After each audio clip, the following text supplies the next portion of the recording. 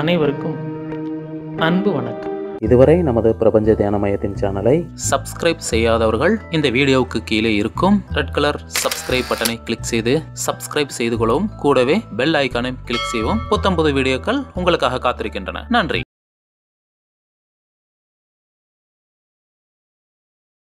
அனைவருக்கும் அன்பு வணக்கம். சரி இன்னைக்கு நம்ம நம்முடைய வாழ்க்கையில் எல்லா இடங்கள்லையுமே பொதுவாக ஒரு வார்த்தை பயன்படுத்துறது உண்டு. என்னன்னு பார்த்தீங்கன்னா தர்மம் அப்படிங்கிற ஒரு வார்த்தை. தாய் தந்தையருக்கு தர்மம் உண்டு. பிள்ளைகளுக்கு தர்மம் உண்டு. கணவன் மனைவிக்கு தர்மம் உண்டு. உறவினர்களுக்கு தர்மம் உண்டு. ஆசிரியருக்கு தர்மம் உண்டு. தொழில் செய்பவர்களுக்கு தர்மம் உண்டு. மருத்துவருக்கு தர்மம் உண்டு. நீதிபதிக்கு தர்மம் உண்டு. எல்லாருக்கும் தர்மம் இருக்கு. அப்படியானால் இந்த தர்மம் என்பது என்ன? தர்மம் இருக்கு. அப்படியானால் தர்மம் என்பதன் பொருள் என்ன? நான் ஒரு முறை நான் வீடியோவில் அந்த தர்மத்தை பற்றி பேசும்போது நிறைய பேர் அதில் கேட்டிருந்தாங்க. தர்மம்னா என்ன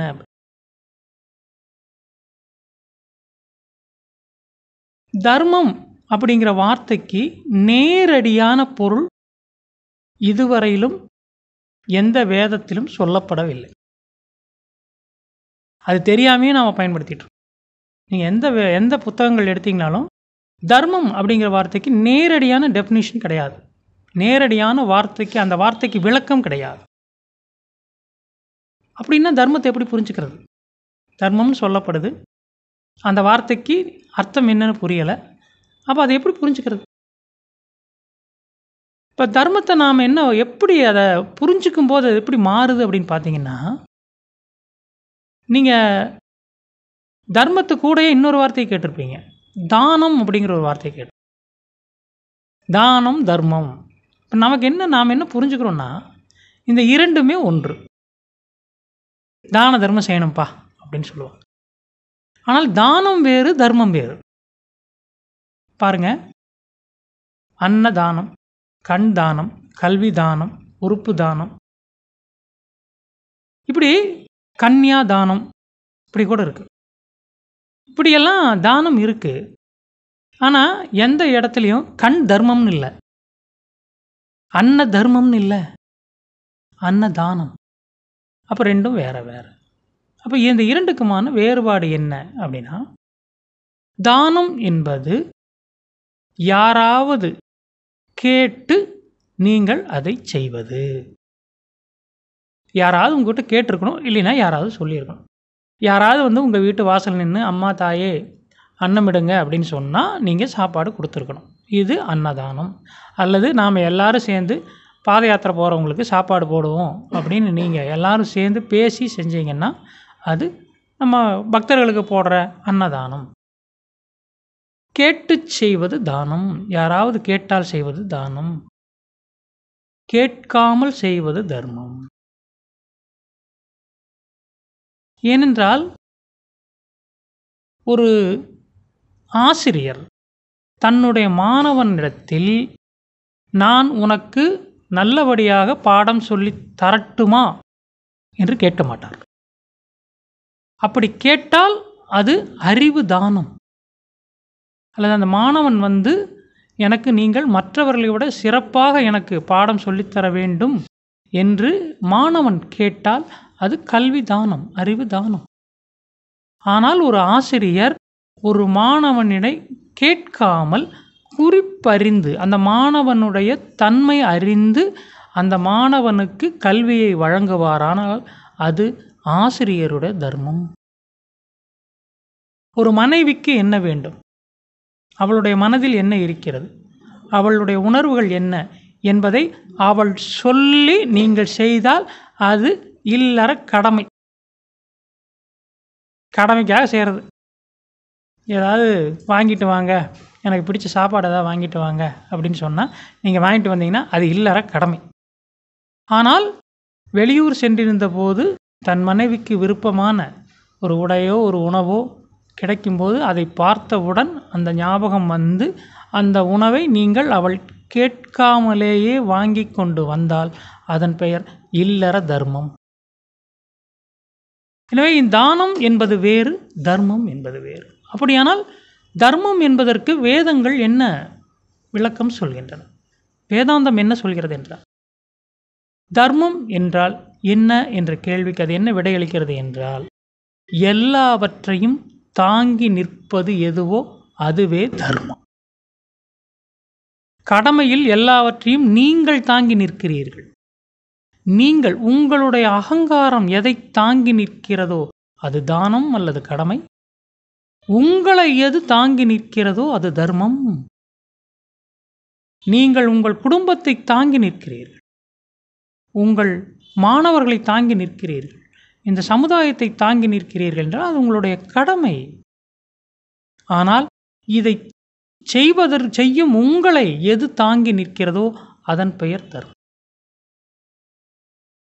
இந்த அண்டத்தின் நியதிதான் தர்மம். இந்த அண்டம் ஒரு நியதியில் இயங்குகிறது. இந்த அண்டத்தினுடைய நியதி என்னவென்றால் இது யார் கேட்டும் இயங்குவதில்லை. இந்த உலகம் சுத்து அப்படின்னு சொல்லி இந்த உலகம் சுத்தட்டும். கொஞ்ச நாளைக்கு இந்த உலகம் இயங்கட்டும் அப்படின்னு யாரும் கோரிக்கை வைத்து அதன் பிறகு இந்த உலகம் இயங்கவில்லை. அது தர்மத்தாலே இயங்குகிறது. யாருடைய தேவைக்காகவும் இந்த உலகம் இல்லை. இந்த உலகத்தில் நீங்கள் உங்கள் தேவைகளை பூர்த்தி செய்து கொள்ளலாம். ஆனால் இந்த உலகத்திற்கு எந்த தேவையும் இல்லை. எந்த தேவையும் இல்லாத எதுவோ அதுவே தர்மம். தேவை இருப்பது கடமை தானம். ஆக இந்த தர்மத்தை நாம் எப்படி புரிந்து கொள்வது அல்லது இந்த தர்மத்தை நாம் எப்படி அடைவது? பகவான் என்ன சொல்கிறார் என்றால் கிருஷ்ணர் ஒ- ஒவ்வொரு யுகத்திலும் தர்மமானது. பட்டு போகும்போது அழிந்து போகும்போது நான் அங்கே அவதரிப்பேன். இப்போ நாம் என்ன புரிஞ்சுக்கிறோம்னா திரும்ப அவர் கண்ணனாகவே வருவார் கிருஷ்ணாவே வருவார்னு புரிஞ்சுக்கணும் அப்படி. தர்மம் எப்போது அழியும்? எப்போது அதர்மம் தலை தூக்குகிறதோ அப்போது தர்மம் அழியும். எப்போது அதர்மம் தலை தூக்கும்? மனிதர்கள் தர்மத்தின் மீது நம்பிக்கை இழக்கும் போது அதர்மம் தலை தூக்கும். அதர்மம்னு தானா அது வந்து தலை தூக்காது. மனிதர்கள் தர்மத்தை நம்பாத போது தர்மத்தை மதிக்காத போது தர்மத்தை செயல்படுத்தாத போது தர்மத்தை நம்முடைய வாழ்க்கையில் பயன்படுத்தாத போது அதர்மம் தலை தூக்குகிறது. நம்முடைய வாழ்வில் தர்மத்தை பின்பற்றாவிட்டால் என்ன ஆகும்? எல்லாரும் சொல்கிறாங்க நம்முடைய வாழ்க்கையில் அறத்தை பின்பற்ற வேண்டும் தர்மத்தை பின்பற்ற வேண்டும் நியாயத்தை பின்பற்ற வேண்டும். என்றெல்லாம் அவர்கள் திரும்ப திரும்ப வலியுறுத்த காரணம் என்னவென்றால் இந்த உலகில் நீங்கள் எதை மீண்டும் மீண்டும் பயன்படுத்தவில்லையோ அது அழிந்து போகும். இன்றைக்கி மனிதர்களுக்கு உடல்ல அப்பண்டிக்ஸ் அப்படின்னு ஒரு உறுப்பு இருக்குது மருத்துவர்கள் என்ன சொல்கிறாங்க அப்படின்னா இந்த உறுப்பு மனிதருக்கு தேவையே இல்லை. தேவைப்படாத ஒரு உறுப்பு அப்படின்னு சொல். மனிதர்களுக்கு தேவைப்படாத ஒரு உறுப்பை இயற்கையின் படைக்க வேண்டும் அப்படின்னு ஒரு கேள்வி வருது. அப்போது விஞ்ஞானிகள் என்ன சொல்கிறாங்கன்னா இந்த அப்பண்டிக்ஸ் அப்படிங்கிறது இப்போது தமிழ் அது குடல்வால் அப்படின்னு பேர். உள்ளே இருக்குது இது ஒரு காலத்தில் வெளியே இருந்தது அப்படின்னு சொல்கிறாங்க அது மனித இனத்திற்கு கொஞ்சம் முந்தைய இனங்களில் அது வாளாக இருந்தது வெளியே இருந்தது. மனித இனம் பரிணாம வளர்ச்சியில் அடுத்தடுத்த நிலைக்கு செல்லும்போது இந்த வாளானது அதனுடைய தேவை மனிதன் வாளை பயன்படுத்தாமல் இருந்ததால் அதனுடைய தேவை இல்லாமல் போனது. எனவே அது இப்போது சுருங்கி சிறியதாகி உள்ளேயே தங்கிவிட்டது. தர்மமும் அதை போலத்தான். நாம் நம்முடைய வாழ்க்கையில் தர்மத்தை பின்பற்றாவிட்டால் இந்த உலகத்தில் அதர்மம் ஆட்சிக்கு வரும். எங்கே பார்த்தாலும் நம்ம அநியாயத்தை பார்க்க முடியும். ஊழலை பார்க்க முடியும். எல்லா விதமான முறைகேடுகளையும் பார்த்து கொண்டு நாம் அமைதியாக இருப்பதால் தான் இவை வளர்கின்றன. அநியாயத்தை தவறு நடக்கும்போது அநியாயம் நடக்கும்போது நீங்கள் உங் மௌனமாக இருந்தால் நீங்கள் மறைமுகமாக அதர்மத்தை ஆதரிக்கிறீர்கள் தர்மத்துக்கு எதிராக நிற்கிறீர்கள். இன்னும் சொல்லப்போனால் இந்த இந்த உலகத்தில் தர்மத்தினுடைய அளவு குறைந்து போன காரணம் அதை நாம் பாதுகாக்காதது. நம்முடைய வாழ்க்கையில் அது ஒரு அங்கமாக மாற்றாதது. இன்றைக்கு எல்லா இடங்களிலும் பார்த்தீங்கன்னா குடிநீரினுடைய பிரச்சனை இருக்குது மனிதர்களுக்கு குடிப்பதற்கு நல்ல நீர் இல்லை. இதற்கு காரணம் என்ன அப்படின்னு பார்த்தீங்கன்னா இந்த நல்ல நீரை நாம் பாதுகாக்க தவறிவிட்டோம். நல்ல நீர் இருக்கும் இடங்களில் அசுத்தங்களை கொண்டு போய் குப்பைகளை கொண்டு போய் போட்டு நல்ல நீரை கெடுத்தோம். எனவே அதனுடைய விளைவை இப்போது நாம் நீர் பற்றாக்குறையாக அனுபவிக்கிறோம். இதே நிலைதான் தர்மத்திற்கும். தர்மம் என்ற அந்த நீரானது அந்த நீரை நாம் போற்றி மதித்திருந்தால் பாதுகாத்திருந்தால் இப்போது அது நம்முடைய வாழ்க்கைக்கு உதவியாக நன்மையாக இருந்திருக்கும். ஆனால் நாம் என்ன செய்து விட்டோம் என்றால் அதை நாம் பயன்படுத்தாமல் விட்டுவிட்டோம் எனவே யாருடைய வாழ்வில் தர்மம் பயன்பாட்டில் இல்லையோ அவருடைய வாழ்க்கை அவருடைய வாழ்க்கையில் அந்த மனிதர் எந்த விதத்திலும் அமைதியே அடைய முடியாது. இப்போ கேட்கலாம் தர்மத்தை நான் பின்பற்றலைன்னா என்ன ஆகும்? யாரோ ஒருத்தர் பின்பற்றட்டுமே நான் ஏன் பின்பற்றணும்? நான் முன்பே சொன்னேன் தர்மம் என்பது இந்த இயற்கையினுடைய நியதி இந்த இயற்கையினுடைய நியதியை புரிந்து கொண்டு அதை யார் பின்பற்றுகிறார்களோ அந்த நியதிக்கு யார் இணங்குகிறார்களோ அந்த நியதியை தன்னுடைய வாழ்வினுடைய ஒரு அங்கமாக யார் மாற்றிக்கொள்கிறார்களோ அவரைத்தான் நாம் ஞானி என்று குறிப்பிடுகிறோம். தர்மத்திற்கும் ஞானத்திற்கும் நேரடியான தொடர்பு உண்டு. ஒரு மனிதன் தர்மத்தை அறிந்து கொள்ளாமல் ஞானத்தை அறிந்து கொள்ள முடியாது. ஒரு மனிதன் காதலை அறிந்து கொள்ளாமல் அன்பை அறிந்து கொள்ள முடியாது. எனவே தர்மம் என்பது இந்த நம்முடைய வாழ்க்கையில் எந்த விதமான தாக்கத்தை ஏற்படுத்துகிறது எந்த விதமான மாற்றங்களை கொண்டு வருகிறது எப்படி வேலை செய்கிறது என்று புரிந்து கொள்ளாமல் நீங்கள் ஞானத்தை பற்றி அறிந்து கொள்ள முடியாது. இப்போ நாம் நிறைய பேர் எப்படி புரிஞ்சுக்கிறோம் அப்படின்னா அன்பும் காதலும் ஒன்று அப்படின்னு புரிஞ்சுக்கிறோம். அன்பு வேறு காதல் வேறு. அன்பு என்பது உயர்ந்த நிலையிலும் காதல் என்பது தாழ்ந்த நிலையிலும் இருக்கிறது. ஆனால் அதை நாம் எப்படி புரிஞ்சுக்கிறோம் அப்படின்னா இரண்டும் ஒன்றானது. இரண்டும் ஒரே பொருளை தருவது என்று புரிந்து கொள்கிறோம். நிச்சயமாக அப்படி இல்லை. காரணம் காதலுக்கு இன்னும் சொல்லப்போனால் காதல் என்பது நம்முடைய உடலின் வெளிப்பகுதியை சார்ந்தது. அன்பு என்பது நம்முடைய உள்பகுதியை சார்ந்தது. காதலுக்கு வடிவம் முக்கியமானது. ஆனால் அன்பிற்கோ வடிவம் முக்கியமல்ல. இன்னும் சொல்லப்போனால் காதல் என்பது தன் முன்னால் இருப்பதை அல்லது தன் முன்னால் இருக்கக்கூடிய ஒன்றை தமக்கு சொந்தமாக்குவதற்காக தனக்கு அடிமையாக்க முயற்சி செய்வது. ஆனால் அன்பு என்பது தன் முன்னால் இருக்கக்கூடிய ஒன்றை விடுவிக்க விடுதலையாக்க முயற்சி செய்வது. இரண்டுக்கும் மிகப்பெரிய வேறுபாடு உள்ளது. ஆனால் நாம் புரிந்து கொள்வதெல்லாம் இன்னும் சொல்லப்போனால் ஆங்கிலத்தில் இந்த ரெண்டுக்குமே ஒரே வார்த்தை தான். லவ் அப்படிங்கிற வார்த்தை தான். அதை நீங்கள் அன்பாகவும் எடுத்துக்க முடியும் காதலாகவும் எடுத்துக்க முடியும். ஆனால் நம்முடைய தமிழில் இந்த இரண்டுக்கும் தனித்தனியான வார்த்தைகள் இருக்கிறது. காதல் அன்பு. இரண்டும் வேறு. அதே போல் தானம் தர்மம். இரண்டும் வேறு. தானம் என்பது உங்களுடைய வெளிப்பகுதி சார்ந்தது. உங்களுக்கு வெளியே உங்களுடைய வெளிப்பகுதியினுடைய தேவையை நீங்கள் பூர்த்தி செய்வது அல்லது வெளிப்பகுதிக்கு என்ன தேவை என்று நீங்கள் புரிந்து கொள்வது. இதை நாம் தானம் என்கிறோம்.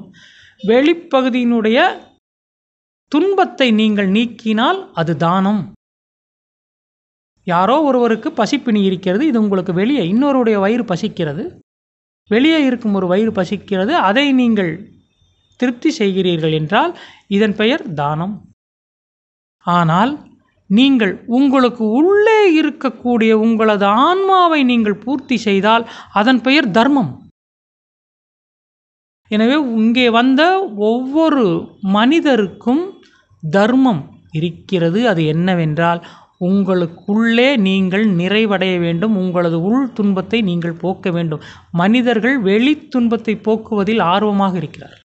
மற்றவர்களுடைய துன்பத்தை போக்குவதில் மற்றவருடைய பசிப்பிணியை தீர்ப்பதில் உழப்பிணியை தீர்ப்பதில் அவர்கள் ஆர்வமாக இருக்கிறார்கள். தன்னை அவர்கள் கைவிடுகிறார்கள். தன்னை பற்றி அவர்கள் கவலை கொள்வது ஏனென்றால் வெளியே நீங்கள் இன்னொரு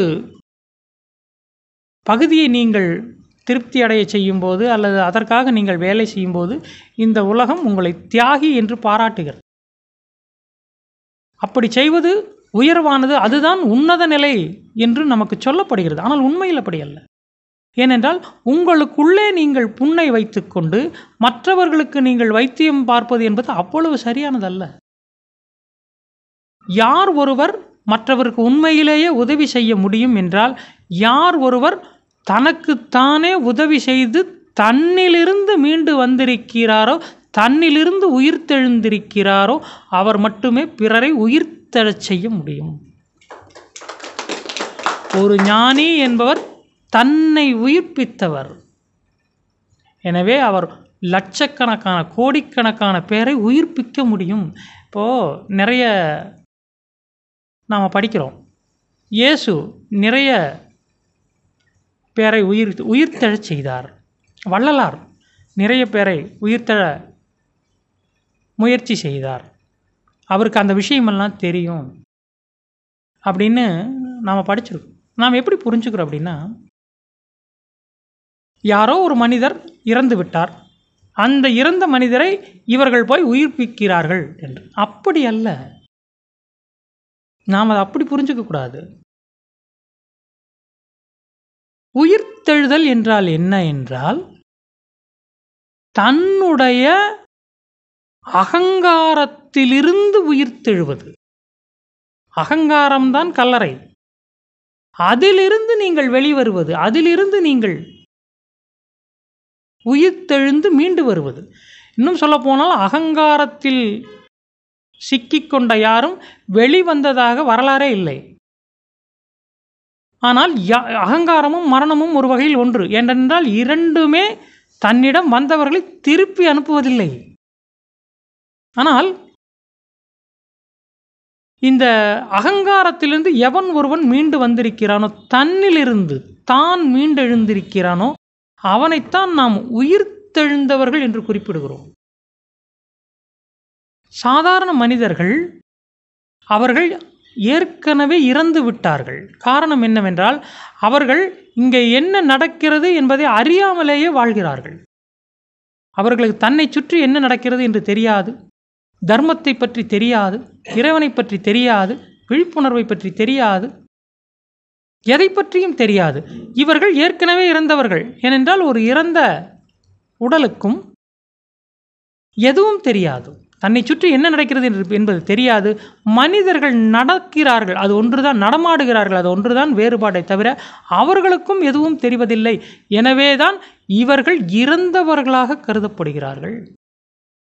அப்படியால் யார் அதிலிருந்து விழித்தெழுந்தவர் உயிர்த்தெழுந்தவர் என்றால் யார் ஒருவர் தன்னை தன்னுடைய சுயத்தை தன்னுடைய தர்மத்தை தன்னுடைய ஞானத்தை பற்றி அறிந்திருக்கிறாரோ அவர் மட்டுமே உயிர்த்தெழுந்தவர் ஆவார் ஒரு உயிர்த்தெழுந்த ஞானமடைந்த தர்மத்தை பற்றி புரிந்து கொண்ட ஒருவரால் தான் இன்னொருவரை உயிர்ப்பிக்க முடியும். எனவே நாம் நினச்சிக்கிற மாதிரி ஃபிசிக்கலாக செத்து போனவங்களை உயிர்ப்பிக்கிறது இல்லை. கான்ஷியஸாக செத்து போனவங்கள உயிர்ப்பிக்கிறது. ஒரு மாஸ்டர் அப்படிங்கிறவர் யார் அப்படின்னா செத்துப்போன உடல்களை அவர் மீட்டெழுத்து ந மீட்டு எடுத்து நடமாட விடுவதில்லை. இப்போ ஒருவர் குடித்தே இறந்திருக்கிறார் மது குடித்தே இறந்திருக்கிறார் அப்படின்னு வச்சுக்குவோம். இப்போ ஒரு ஞானி போய் அவரை எழுப்புறார். ஏதோ தண்ணியை தெளிச்சோ விபூதி போட்டோ அவரை மீட்டும் மீட்டு உயிர் கொடுக்குறாருன்னு வச்சுக்குவோம். இவர் எழுந்த உடனே நேரம் எங்கே போவார்னா மீண்டும் மதுக்கடைக்கு தான் போவார். ஞானிகள் இந்த முட்டாள்தனத்தை செய்வதில்லை. அவர்கள் யாரை எழுப்புகிறார்கள் என்றால் யார் ஒருவர் தன்னுடைய உள்ளத்திலிருந்து இதயத்திலிருந்து வெளிப்பட துடிக்கிறாரோ அவரை மட்டும்தான் அவங்க வெளியெடுப்பாங்க. எனவே நாம் புரிஞ்சுக்க வேண்டியது இறந்தவர்களை உயிர்ப்பிப்பது அப்படின்னா திருடன் கொள்ளக்காரன் குடிக்கிறவன் ரவுடி இவங்களையெல்லாம் எழுப்புறது இல்லை அப்படியானால் நல்லவர்களை எழுப்பலாமே. இன்னும் சொல்லப்போனால் நல்லவர்களையும் எழுப்பி பிரயோஜனம் இல்லை.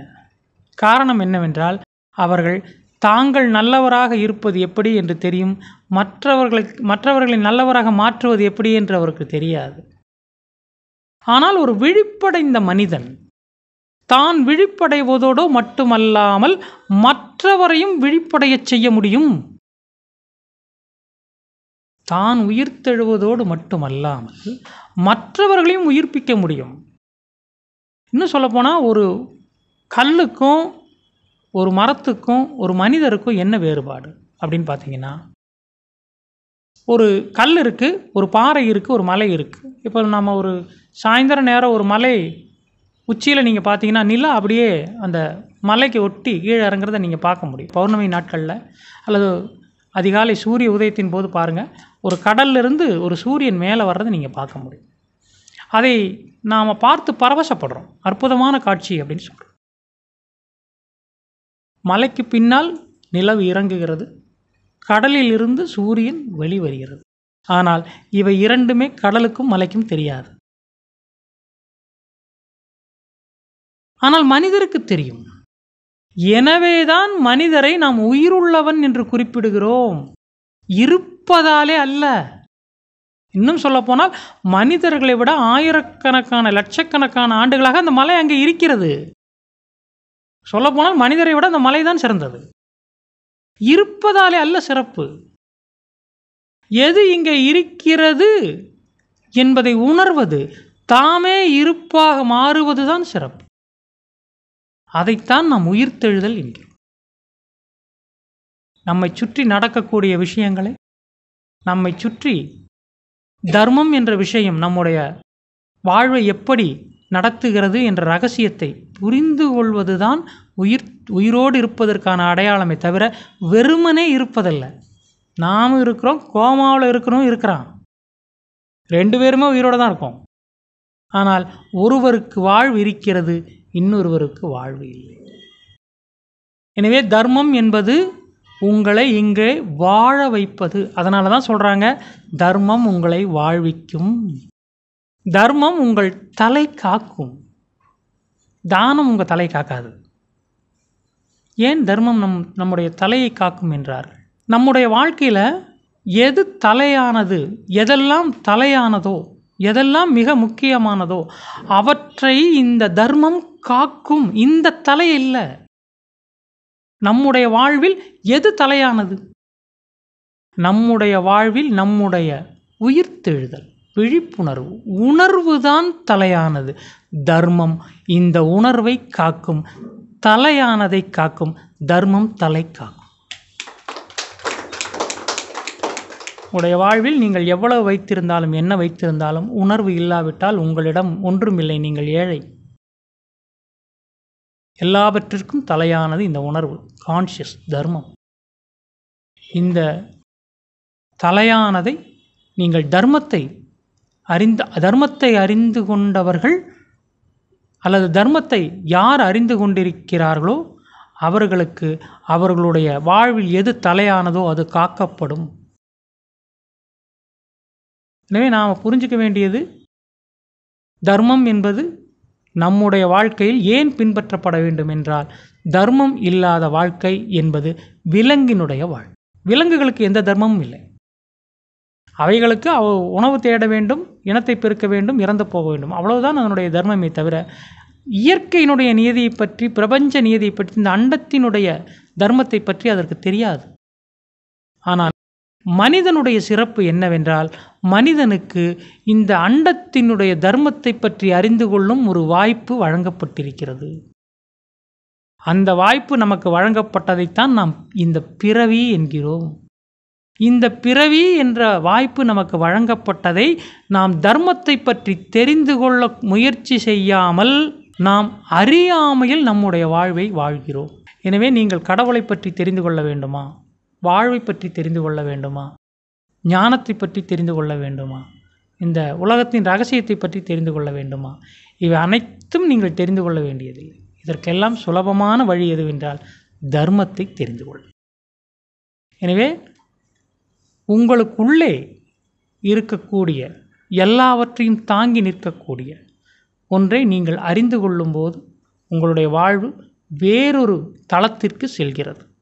அது மனித சாதாரண மனித வாழ்விலிருந்து மிகவும் மேம்பட்டதானதா? மிகவும் உயர்வானதாக. இன்னும் சொல்லப்போனால் சாதாரண பிறப்பிலிருந்து அது மிகவும் உயர்ந்த பிறப்பானதாக மாறிப்போம் எனவே வாழ்க்கையில் நீங்கள் எதை தெரிந்து கொண்டாலும் எதை புரிந்து கொண்டாலும் எதை அடைந்திருந்தாலும் தர்மத்தை அடையாவிட்டால் அவையெல்லாம் வீணை. உங்கள் வாழ்வில் நீங்கள் எதையுமே அடையவில்லை. எந்த செல்வத்தையும் எந்த சுகத்தையும் நீ- நீங்கள் காணவில்லை. எந்த விதமான லாபத்தையும் நீங்கள் அடையவில்லை. ஆனால் தர்மத்தை நீங்கள் அறிந்திருந்தால் உங்கள் வாழ்வு உலகத்தினுடைய எல்லோருடைய வாழ்வில் விட மிகச் சிறந்த உயர்ந்த வாழ்வு. அனைவருக்கும் நன்றி. இந்த வீடியோ உங்களுக்கு பிடித்திருந்தால் லைக் செய்து உங்கள் நண்பர்களுக்கு ஷேர் செய்யும் மேலும் உங்களின் மேலான கருத்துக்களை கீழே உள்ள கமெண்ட் பாக்ஸில் கமெண்ட் செய்யவும் மேலும் ஒன்பது ஐந்து ஆறு ஆறு இரண்டு ஒன்பது மூன்று நான்கு எட்டு நான்கு என்ற எண்ணிற்கு வாட்ஸ்அப்பில் தொடர்பு கொண்டு தகவல்களை பெறவும் உங்களது கருத்துக்களையும் தெரிவிக்கவும். அனைவருக்கும் நன்றி வணக்கம்.